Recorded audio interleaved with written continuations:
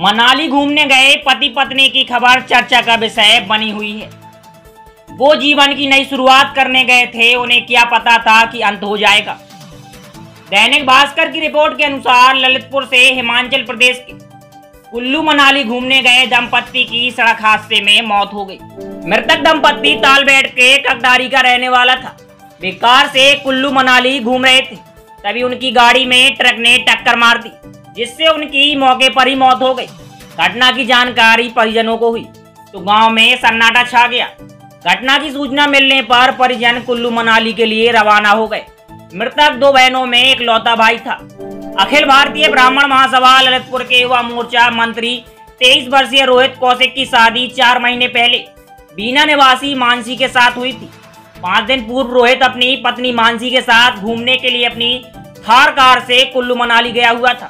गुरुवार की रात जब वह थार कार से हिमाचल प्रदेश के पतली कुहल में कुल्लू मनाली के नेशनल हाईवे पर 17 मील के पास था, तभी सामने से आए ट्रक ने कार में टक्कर मार दी, जिससे रोहित व मानसी की मौत हो गई। परिजन सब लेने के लिए कुल्लू मनाली रवाना हो गए।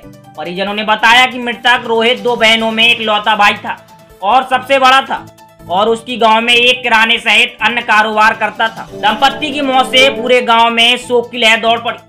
परिजन शव को लेने के लिए कुल्लू मनाली रवाना हो गए हैं। आगे की अपडेट के लिए चैनल को सब्सक्राइब कर ले। मेरा नाम है धर्मेंद्र, कैमरे के पीछे है गौरव। धन्यवाद।